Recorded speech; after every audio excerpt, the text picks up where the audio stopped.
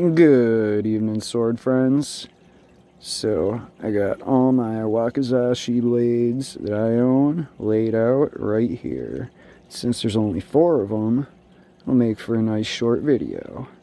I got like over two dozen katana, but I've only got four Wakizashis, which means I need more Wakizashi in my life, but it's not the point of this video. Just wanted to show you what I'm working with. We got my Kris Cutlery Wakizashi number four, the folded and laminated and differentially hardened one.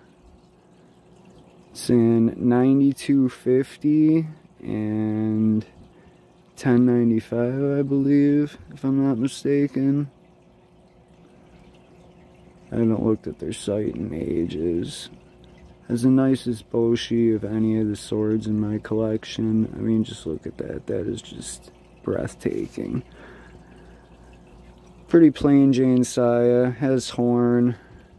Shitadome that actually stay in. This one didn't come with the Sageo, though.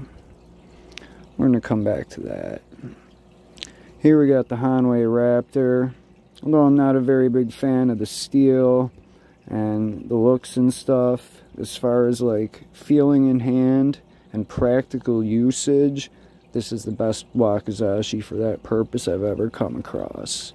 It's perfectly balanced has that Hirazukuri blade geometry that's just gonna laser through whatever you put in front of her as long as your edge is lined up right man. You're just like it's not even there. It's typical thick, but not too bad Hanwei Tsuka.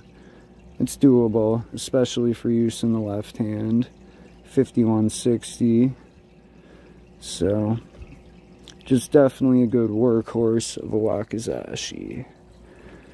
And we got a more higher end Hanwei offering, but I bought this one was a factory second, so I got her for exactly half price at the time and the only issues that they could potentially have had were issues with dingy Lucido.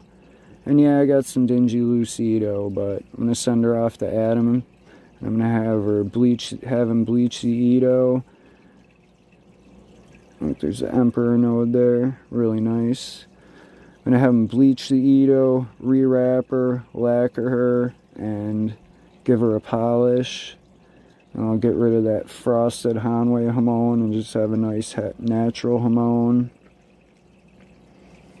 And I mean, this blade geometry does not lend itself well to trick cutting. I mean, don't get me wrong, she'll laser beam right through a noodle or a bottle or anything else you put in front of her.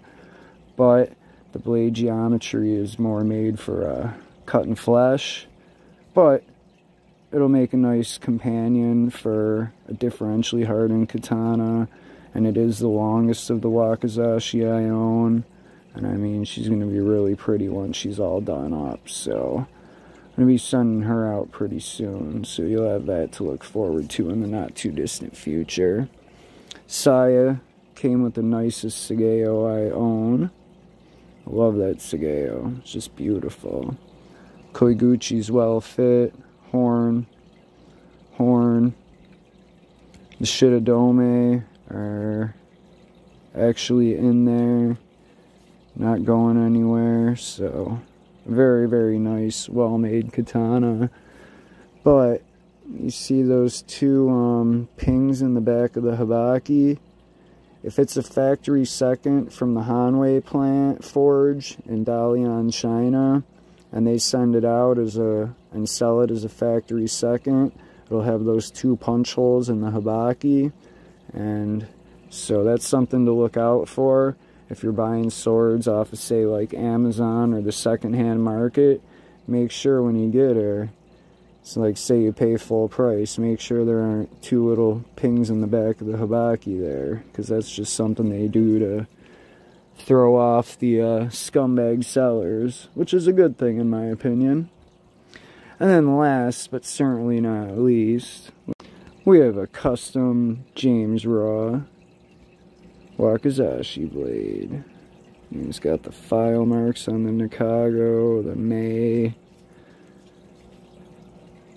I believe it's a date, something else. I'm not familiar with exactly what they carve on there. But I mean, this is like, I mean, this was made one at a time with love and care and purpose. And as you can see, that Nakago is pretty long. That'll make for about a 10, 10 and a half inch tsuka, which means you'll be able to get two hands on this Wakizashi. And that just opens up a world of possibilities. The blade is differentially hardened. I believe this one is in the EN45 steel that he usually works in. I know the katana I own from him is 5160. I'm pretty sure this is one of his EN45 ones. He's out of South Africa. And I mean, look at the the width of that blade. I mean, this is a fairly wide Hirazukuri blade. And this one here is damn near just as wide. So that's going to make for a very fine cutter, I think. Especially with the two hands, that nice wide blade all the way up. I mean, can't wait to have her done up. Realistically, I probably won't have that blade done up for about a year or so, but something to look forward to. So, that's about all I got for now. Thanks for uh, taking this trip down Wakizashi Lane with me, and thanks for watching. Have a good one.